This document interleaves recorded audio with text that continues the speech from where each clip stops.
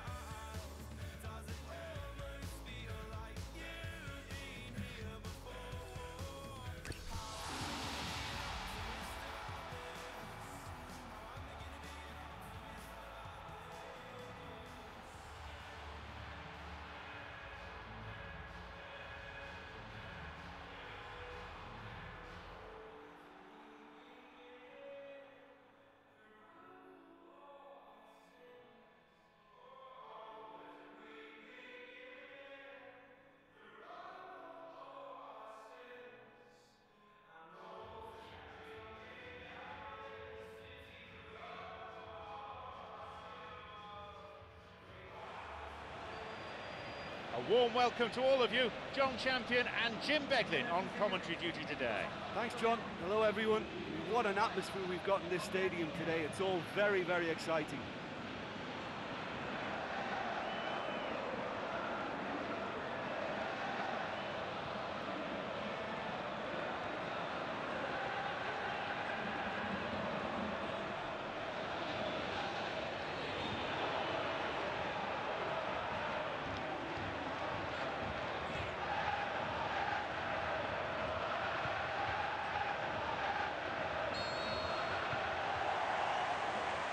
We're now all set.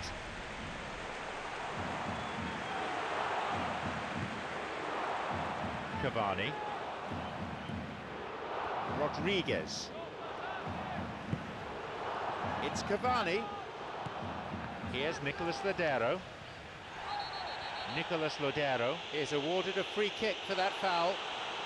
And there's the first booking of the game already. Not even five minutes in, but the referee's decided that he needs to stamp his authority on the game. This could be an opportunity.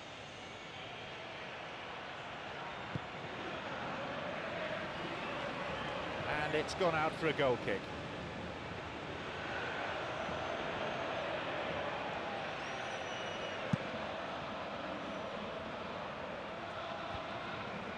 Nicolas Lodeiro wins it back.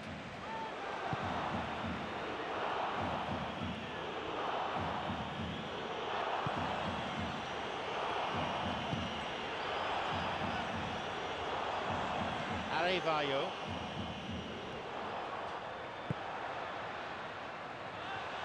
This goes for a throw-in.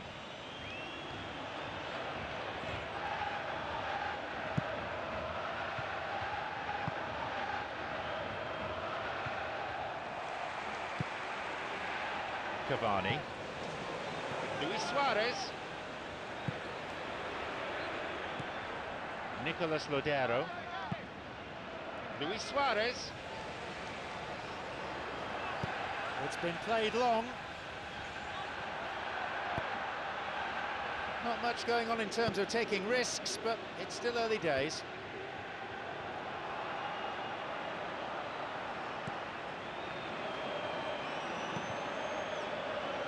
No getting it through there. He knew what was coming. Nicolas Lodeiro knocks it forward.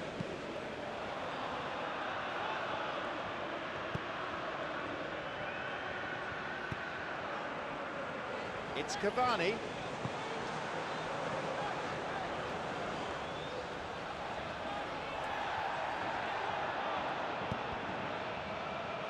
That's a throw.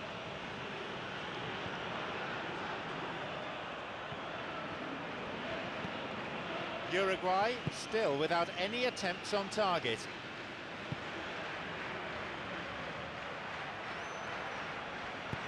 Lifts it through. The keeper's got it.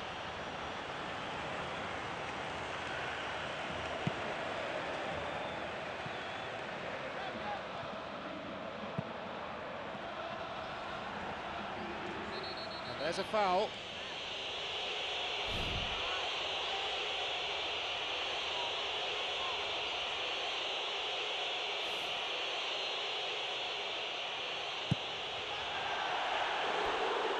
He's unlucky not to score there. Oh, he couldn't have hit that any better. and Any other time it would have sneaked in. That will encourage another try, though.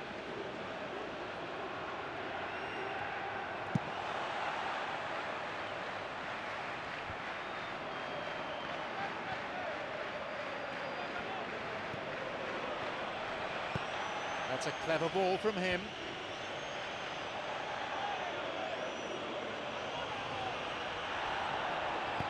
Forward it goes.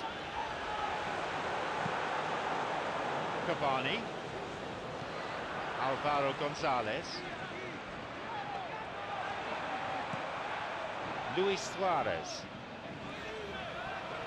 Through and still going. Goal! Uruguay!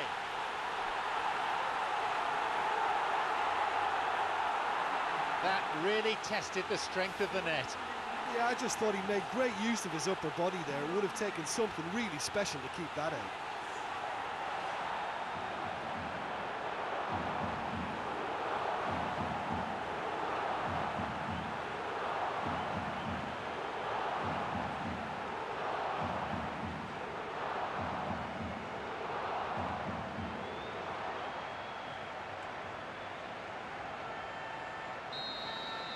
Uruguay leading by a goal and looking to build on that.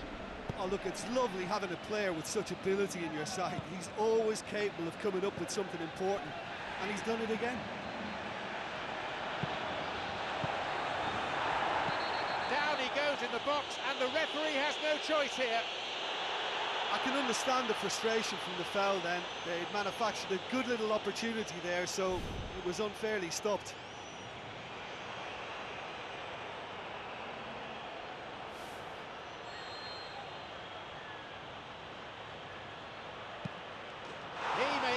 Mistake in drawing them level. It was never in doubt. And it only took a little drop of the shoulder to send the keeper completely the wrong way. Didn't he take it well?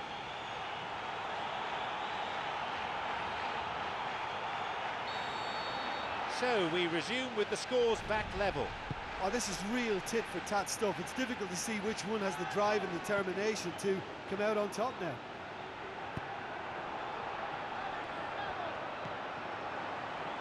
Oh, come through. It's opened up nicely for him. Luis Suarez.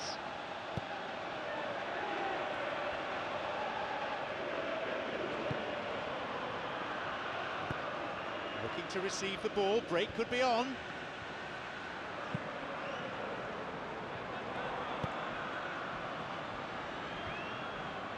Ah, good interception. Just what they needed. Arevalo gives away a free kick.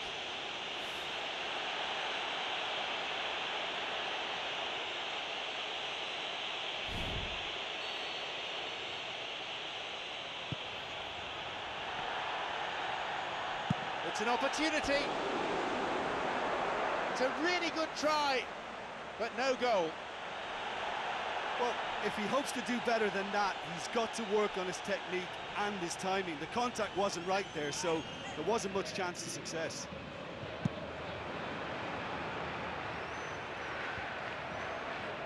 Alvaro Gonzalez.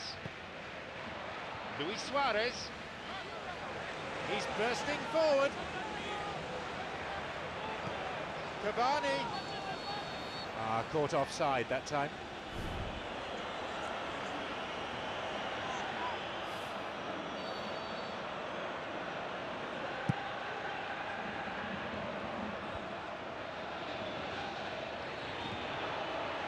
Well beaten to the ball there. Spooned forward. Didn't have any luck with the through ball there. Yeah, it looked like there that he was asking just a little too much of himself to try and thread that ball through. It was, uh, it was a bit over-ambitious, but I like his thinking. Big moment, big goal!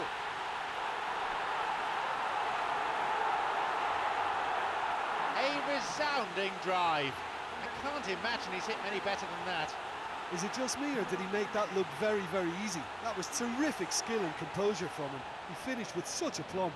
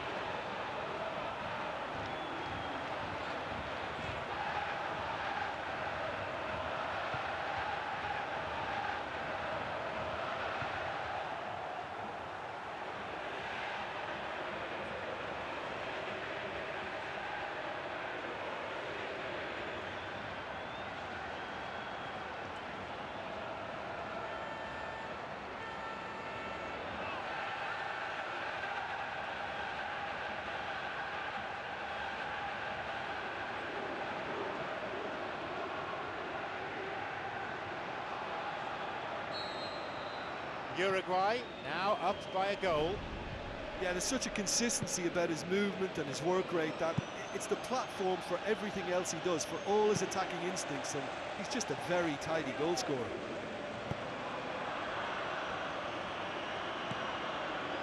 Nicolas Lodeiro places into the danger area. It's Cavani.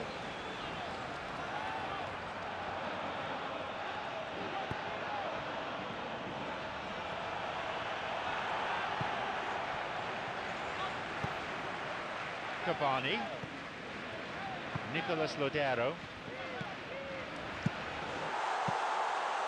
Good strike, but straight at the keeper. Oh, listen, I think you can understand at time. The referee blows his whistle to signal half-time. Just one goal separates them, 2-1 on the score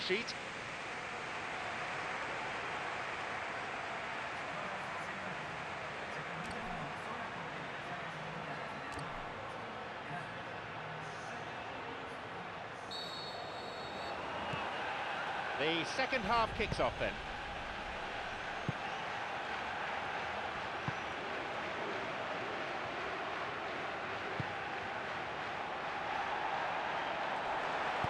The ball was taken.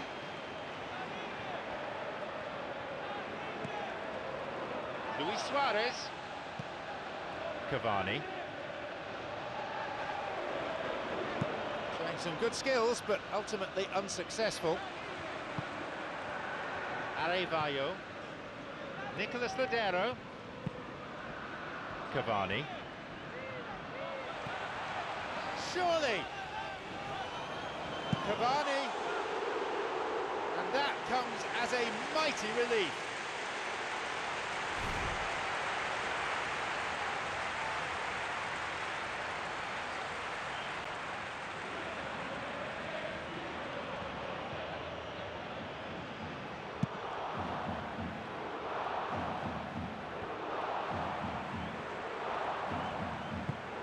Played in accurately, bursting forward. A real tussle for the ball. And it's a really well-taken goal. Oh, this is a real show of character. Rather than let their heads drop, they've stood proud and fought hard. Brilliant. He was never going to decline an invitation like that. Well, we've just seen intelligent football from intelligent footballers. That's honed on the training ground and lovely when it comes off on match day.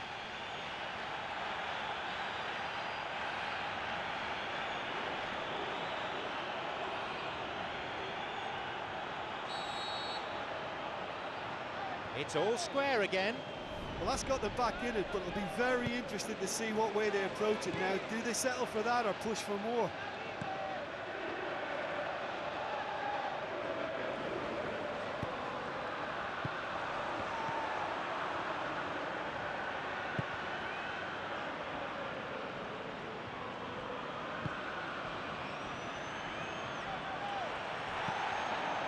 It's Cavani. Luis Suarez looking to complete a hat-trick. And that, Jim, would be quite an achievement. It will, it will be an achievement. To be honest, I know I'm supposed to stay impartial, but I hope he goes on to get it too. He's played well enough to deserve it.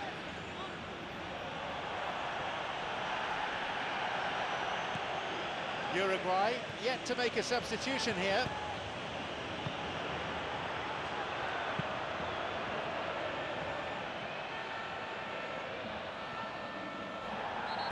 Alvaro Gonzalez with the foul.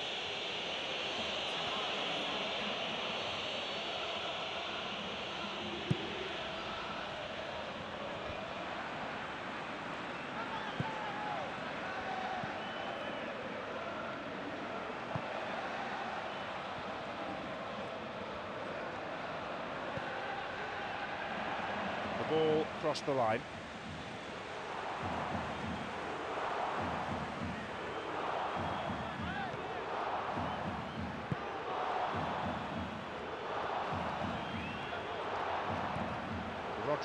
Rodriguez. Cavani. No, beaten to it. He's looking to find his front men.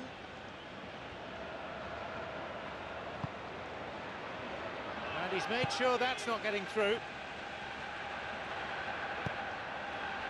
Alvaro Gonzalez.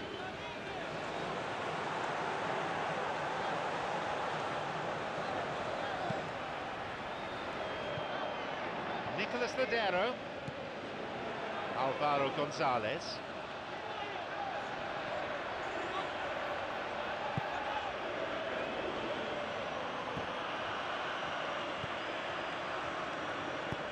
A long ball into space. An important interception, things were starting to look dangerous. 30 minutes played in the second half. It's Cavani. Luis Suarez, who we've just seen score that goal.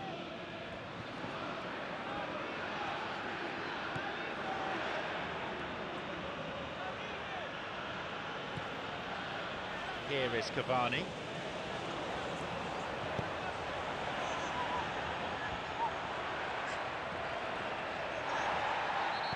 Godin with the challenge, and he's given away a foul.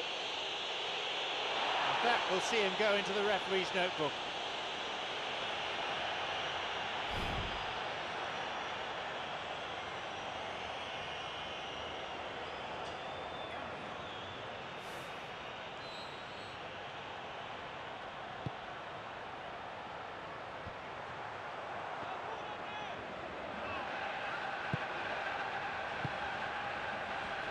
Trying to keep it in the face of strong opposition pressure.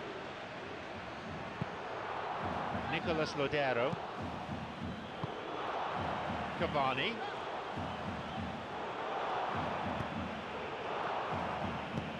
Looking to play on the break. The ball goes through.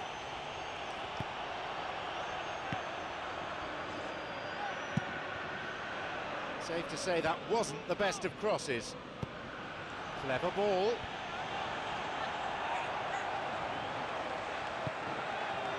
Full-time whistle within sight.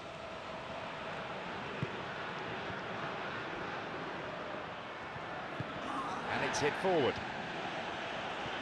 Arevalo. Luis Suarez. Not long to go. It is now or never. Godin with an uncompromising challenge.